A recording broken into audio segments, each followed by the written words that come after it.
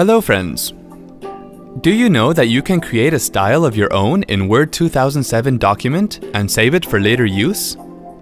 Let me show you how to do it. On the Start screen, click the Microsoft Office Word 2007 tile. Open the Word document where you want to make the changes.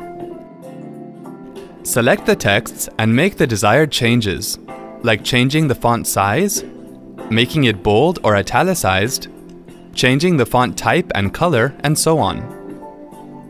Once done, go to the Home tab, and then in the Styles group, click the downward arrow to open the menu. Click Save Selection as a new quick style. A Create New Style dialog box will appear.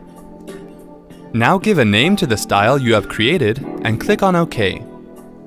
You will see that the style created by you will appear in the menu of styles of the Word 2007 document.